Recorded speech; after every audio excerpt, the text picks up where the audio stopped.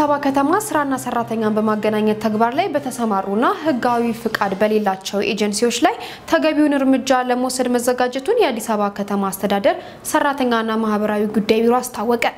በአዲስ አበባ ከተማ ስራና ሰራተኛን በማገናኘት ተግባር ላይ በተሰማሩ ሕጋዊ ፍቃድ በሌላቸው ኤጀንሲዎች ላይ ተገቢውን እርምጃ ለመውሰድ መዘጋጀቱን የአዲስ አበባ ከተማ አስተዳደር ሰራተኛና ማህበራዊ ጉዳይ አስታወቀ።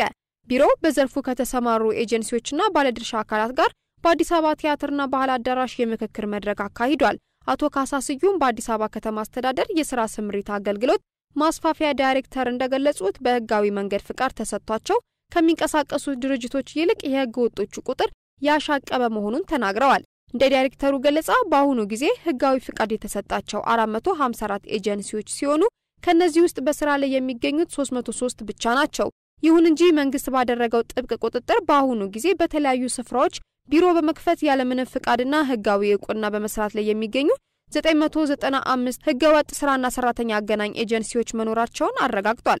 ቢሮ ለስራና ለሰራተኛ አገናኝ ኤጀንሲ ፍቃድ ሲሰጥ ቅጥርን፣ ስራ ፈጠራን፣ እድገትና ስልጠናን ከግምት ውስጥ በማስገባት መሆኑን የጠቀሱት ዳይሬክተሩ እስካሁን ወቅታዊና ታማኝ የስራ ገበያ መረጃ በመስጠትም ጊዜና ጉልበት ቆጣቢ አገልግሎት ተደራሽ ለማድረግ መቻሉን ተናግረዋል። ይህ በመሆኑ ባለፉት ሶስት ዓመታት በውስን ህጋዊ ኤጀንሲዎች ብቻ በተደረገው ጥናት ለ54624 ሰዎች የስራ ዕድል ለማመቻቸት ተችሏል። በውይይት መድረኩ በተለይም የሰራተኞችን ቅጥር አስመልክቶ በአንዳንድ ኤጀንሲዎች አሰራር ላይ ቅሬታዎች ተነስተዋል። ከተሳታፊዎቹ በቀረበው አስተያየት በጥቂት ኤጀንሲዎች ብልሹ አሰራር የበርካቶች ስም መጠልሸት እንደማይኖርበት ተገልጿል። ህገወጥ አሰራርን ተከትለው በርካቶችን ለችግር በሚዳረጉ ኤጀንሲዎች ላይ እርምጃ ሊወሰድ ይገባል ያሉት ተሳታፊዎቹ በቢሮ በኩል የሚስተዋሉ የቁጥጥር ክፍተቶች እልባት ሊበጅላቸው እንደሚገባም ጠቁመዋል።